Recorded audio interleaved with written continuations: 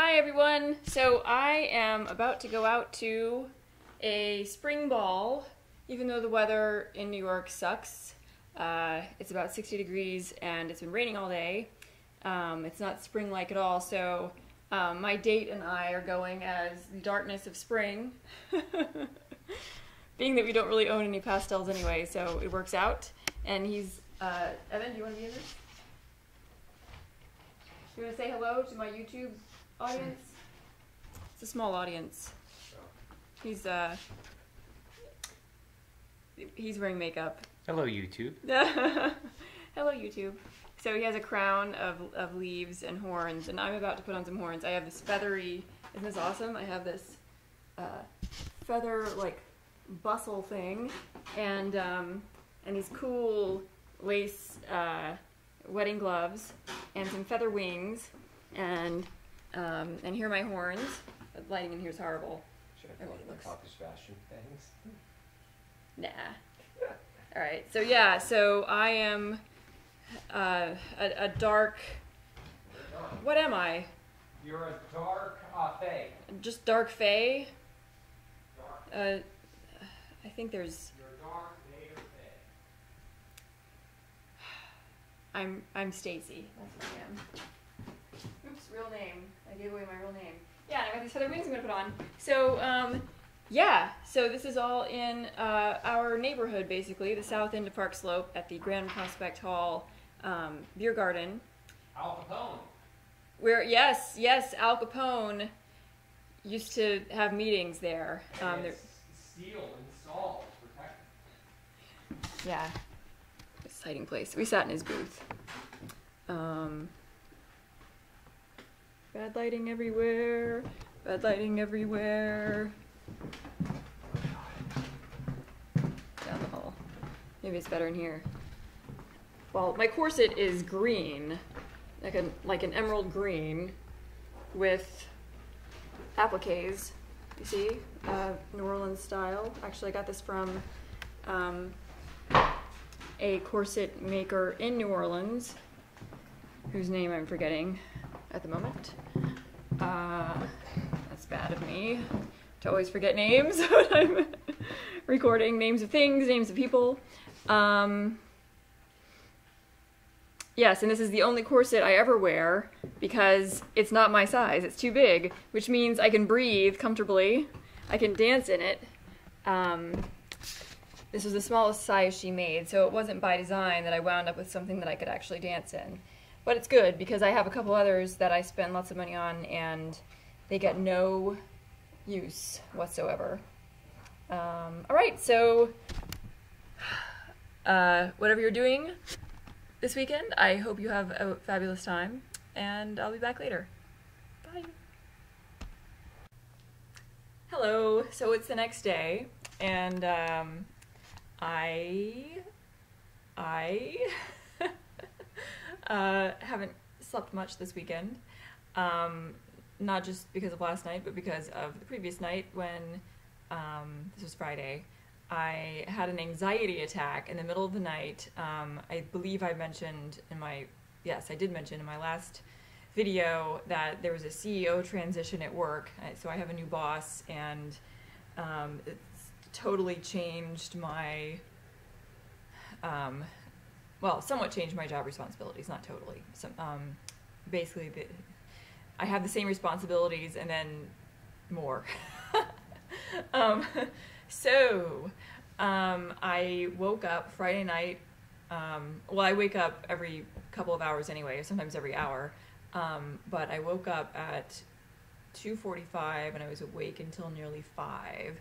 And of course, this is the night before I have told everyone I know that I'm going to the spring ball, so I couldn't get out of that. And it, I mean, it was good that I went um, because I, I did want to see some people who were driving from all over the place. You know, they have an event in. This was in Brooklyn, but typically in Manhattan, and people come from New Jersey and up in the Bronx, and it takes them two hours to get here, and you don't want to say, "Oh, I can't come, I don't feel well." Um, and we did have a really good time, um, and uh, and I was fortunate that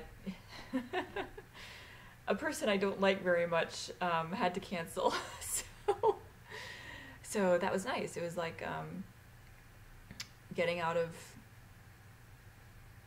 getting out of a class you don't like because I wasn't sure how how I would socially navigate that scene um, of uh, you know maintaining um, uh, polite appearances uh, among all of our friends. So okay, so uh, I'm not gonna go into details. Um, I just don't like dishonest people, and you know or thieves um, or people who abuse me. Um, all right, so yes, so what I'm learning um, as I get older, um, I am not coping with uh, the day after partying, even if it's just mild partying, as in got to bed before twelve thirty, and um, only had two drinks, but my brain is just it. I I have such limited cognitive ability right now. Um, first of all, I didn't get enough sleep again last night because even though I went to bed at a fairly decent hour for a Saturday night, I um, woke up at six thirty. Like it was a like it was a work day. Actually, worse than a work day because on a work day, I'm typically like fighting to get out of bed at seven when my alarm goes off. Actually, my alarm goes off at twenty till, but sometimes I'll push it forward and just decide to be late. Um, anyway, so yes, so I'm not doing too well, and that's why I'm making a video because I can't. I'm not going to be able to write anything or, um, you know, uh, go on a hike um, out in the park or anything. I just don't have the energy. Um, so I'll just sit here with you guys. And also, my face broke out. You can't tell, but this is also an effective stress, I believe, because I don't get real breakouts. Um, I I use Proactiv and and uh, rosehip seed oil, which tends to take care of that, and Retin A. And for this to happen, to have like five blemishes at once is unheard of. Though you're hearing of it now, um, you can't see it because the light in here is too bright. But um, anyway, it's there's some facial activity. Uh, all right, so what's um, what's some good news I can give you? Um, um, yeah, BPAL. So uh, last week, this sometimes happens when I'm really stressed out. I'll just buy more BPAL. Or um, in this case, I did a swap with someone. It was a very good swap um, because this lady really knows how to um, spoil her gift recipients. Um, I traded my only Lovers Left Alive, um, Cafe Mila in Newitz. I don't know how to say it. It's the, the coffee shop um, in the movie. Uh, it's supposed to smell like coffee and a bunch of spices, and I, I, did, I detected no coffee. It was a bunch of spices, and I thought initially, oh, this is good. It's like a strong clove and sort of an Indian um, flavor. But then I realized that it smelled just like the taste of um, my Tulsi holy basil tea, and I just I don't know. Um, it was it was like identical to that, and I um, I don't want to smell like that. Uh, I just don't. Apparently, other people do. they perhaps don't drink this tea. Um, so yeah, so I swapped that for um, Crimson from the Crimson Peak line, which is still available on the BPAL website. See it? Yes, that's the label. Um, and this smells almost identical to uh, Streets of Detroit. I mean, it's even straight from the bottle. There's a there's a very slight difference because it's like you can you can separate the sweetness from the motor oil in um, Streets of Detroit.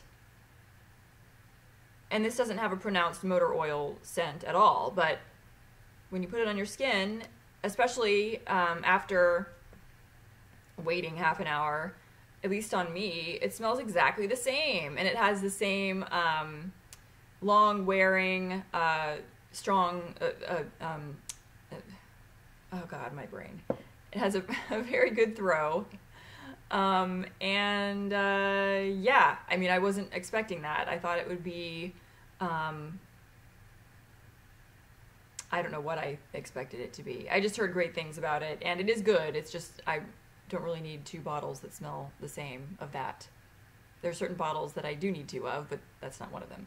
Um, anyway, so still, um, so this person I swapped with also sent me a ton of imps, and they're good imps. You know, uh, frequently I just get a bunch of crap.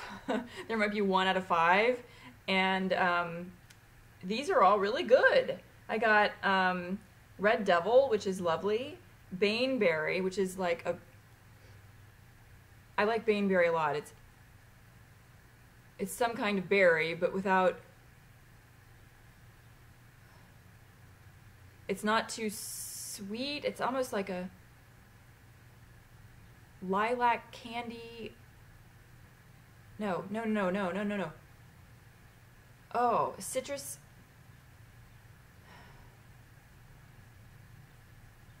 Oh, it's so strange. I, I can't. There's there's like a a mild citrus note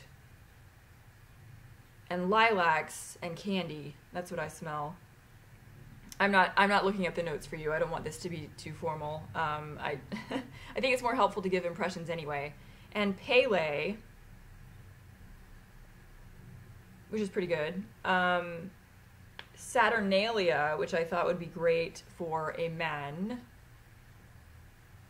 or a woman. Not sweet at all. Really unique. Uh, um, I'll have to think about what I smell in that one though. Almost a wood. I don't know. Um, and a few others that I won't go into. And she sent me a ton of tea. I had said I yeah I like tea, not black tea or green tea. They give me insomnia or worsen my insomnia. But fruit and herbal teas, and she sent me all this fruit and herbal tea. It was like a, a huge thing of it, all to, all different types, just glorious. And then she sent me um, rarely do you get a free bottle of something in a package when you buy or swap. But she gave me um, this has a at least one decant in it left. Um, Ragnarok. Ragnarok. Can you see the label? It has like a dragon or a is it a griffin? Or a lion? it's like a lion dragon. I don't know. It could be a griffin. Um, and it has I think I think I smell black musk and like a pepper kind of smell. Um, so that's neat. Um, also, this arrived yesterday as well. Everything came as I was getting ready for the ball last night. Um, so I was so fortunate to find someone selling a half bottle of my one of my favorites, Mead Moon. I was just talking about this last week on video. Um, ah, okay, computer locked up. Um, so I had a bottle. Um, it was about half when I got it of Mead Moon, um, and this is what my label looked like. Okay, it see this? See, it's sort of a, a light brown color.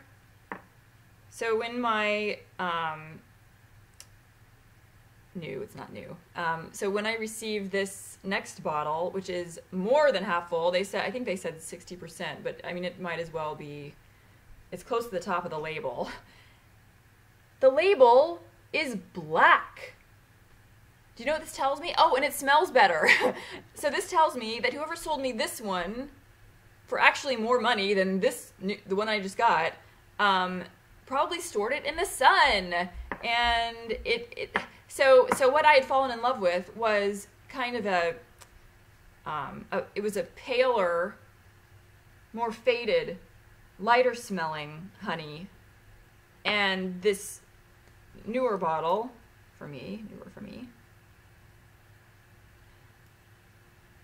You can um, pick out all the spices that they list, like nutmeg. I think there's clove and um, it's just very it's like uh, well, it's like a picture that hasn't been faded by the sun. That's what it's like. Um, it's beautiful, and even um, uh, olfactorily um, handicapped Evan, who can't really smell anything, um, loved this one. He said, "Oh, it's like you could just, you know, it could be the dead of winter. You inhale that, and then you're at the Ren Fair." so yeah, I'm I'm really excited about this. Woo! And uh, not a whole lot of extras with that package, but that's fine. I don't care. Um, it's just it's so good. Um, and the other thing that I got, I think this was also yeah, this was also yesterday. It was a good day for mail. Um, bought myself lots of presents. So uh, someone in the um, on the Facebook uh, page for the uh, BPAL Sales Madness. She's also active on the um, BPAL Parlor on Facebook. She does decanting. I'm not naming names. Maybe people would want me to name names because it's you know good advertising, but um, I'm not going to do that without asking. Um, so I so she had talked a lot about Cellar Door uh, Bath Supply Company, and I checked out their page, and there are all these um, fancy soaps and other things, but I was interested in the soaps. And again, the, ah, this damn lighting, damn lighting in here. Oh, there, that works, doesn't it? So this is uh, apricot plus agave nectar. And Evan liked this one too. It's like um, apricot candy or a really nice cocktail um, that has uh, I don't know. Do they make apricot syrup? Probably not. Um, but that's very good for spring. Then I had ordered um, because these were half off because they're out of season. Uh, Drunken Pumpkin. Oh, that label shows up better.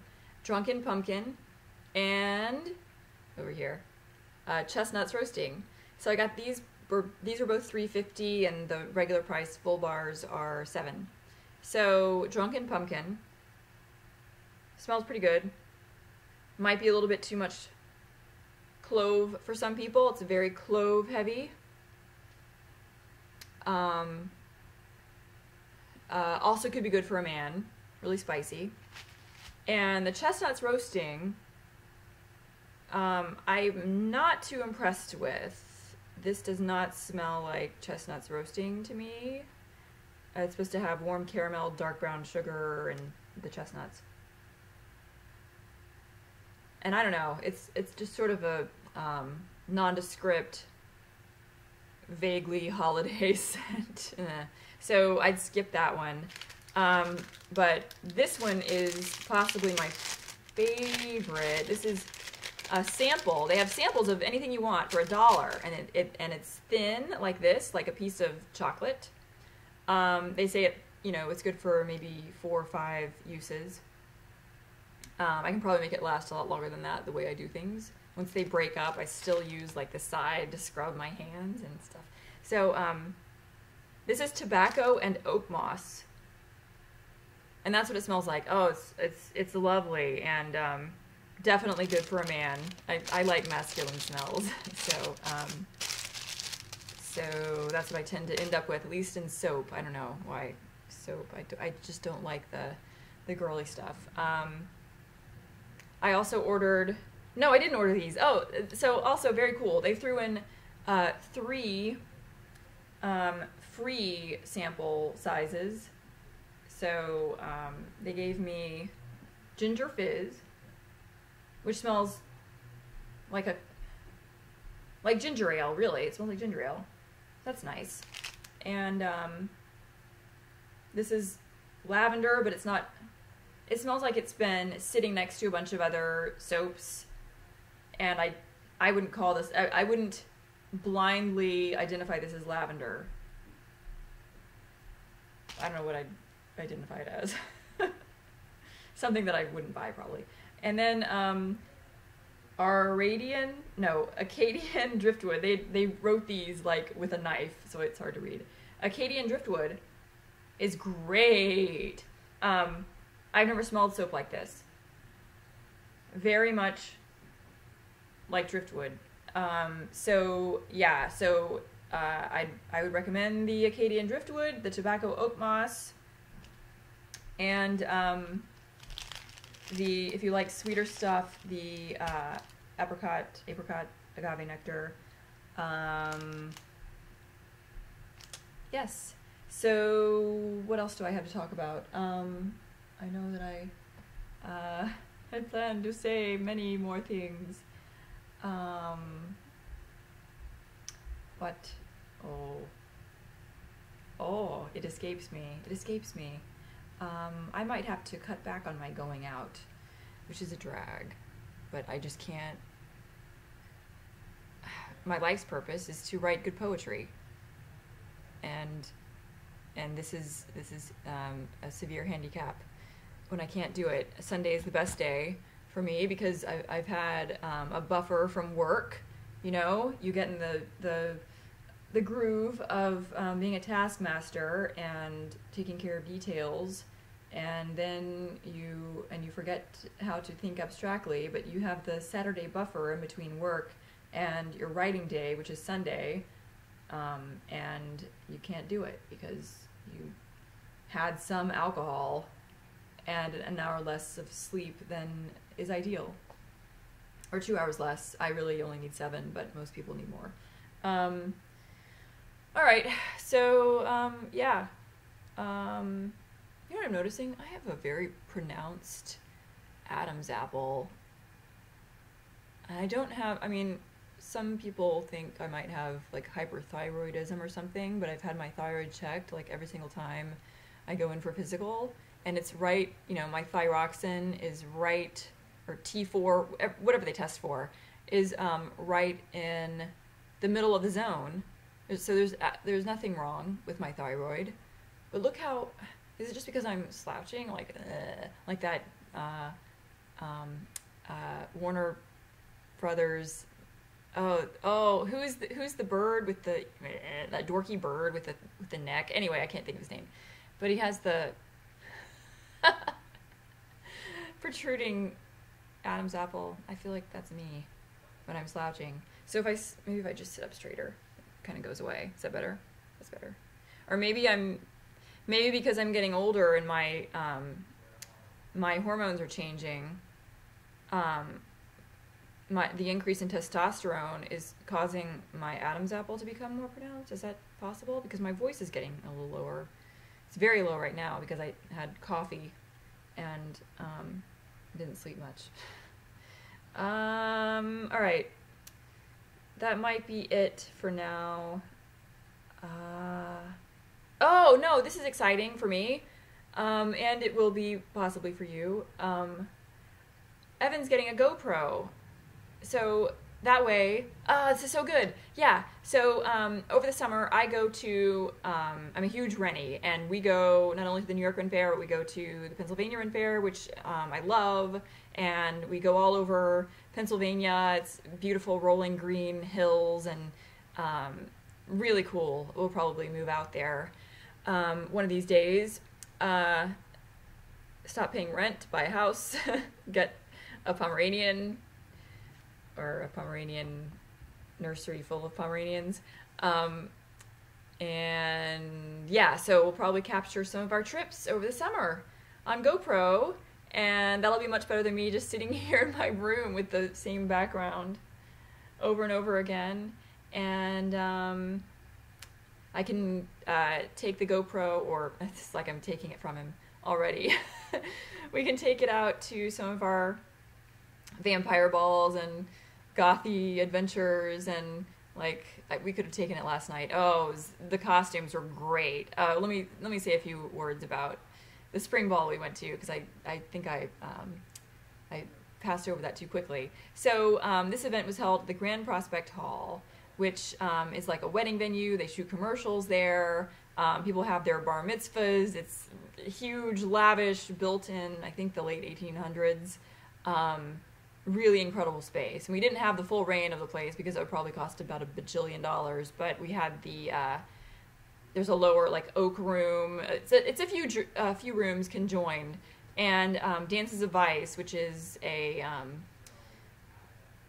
nightlife production vintage party thing that started um, back in I think late 2007, and then we started going in 2008, or it might have been. It started in early 2008, and we started going in late 2000. No, I think I was right the first time. the The first um, real events that the organizer held were at. Um, I say the organizer. Uh, I think there's probably a better name for her. I don't know what to call people who run these party companies, but um, we uh, they were the first for the first couple of years anyway, three years maybe, yeah. Um, many of them were held at the Montauk Club. I'm pointing like you know where I'm pointing, but you don't. Um, like at the end of my street, uh, and then up one block, there is an old uh, gentleman's club. Um, again, from the 1800s, um, that has been preserved quite well. Um, it's a beautiful place, and she used to throw her parties there. And I loved it because it, um, when things were still getting started, this was mainly by word of mouth that people um, came to know what it was. And um, these were all people who are really into dressing up, and they go all out. I mean, they spend you know thousands of dollars on their costumes, and they do cool things with their makeup. And um, she had some really good musicians performing and dancers, and oh, it's great! Such an intimate environment. You would really talk to people and get to know them. And it was you know, right down the street. It was so cool, but she couldn't make any money, so she um, started going and having the parties mainly in Manhattan, and um, and the company grew and grew, and it um, like uh, um, there are a bunch of like spin-off parties um, and different brands. Um, uh, like there was a burlesque um, segment at one point. I don't think she's still doing that, and um, some that were more focused on um, uh, formal dancing. Um, but anyway, so what what happened last night was more in the style of the original design, and uh, it really felt like we were back at the Montauk Club because it had that you know old, dark wooded, um, a few dimly lit rooms that were conjoined, um, um, and uh, we got to talk to everybody. So. Um, again, the cost you could not overdo it with the costumes. It was basically like Halloween with a a lot of people dressed as fairies and you know um, woodland creatures, um, but many weren't because it was basically like an autumn night. It wasn't like a spring night, and uh, oh, and Voltaire was there. I'm sure you guys know who Voltaire is, the musician. Um, he typically we see him all the time. He's such a nice guy and normally he shows up after midnight. You you can't expect to see him before then.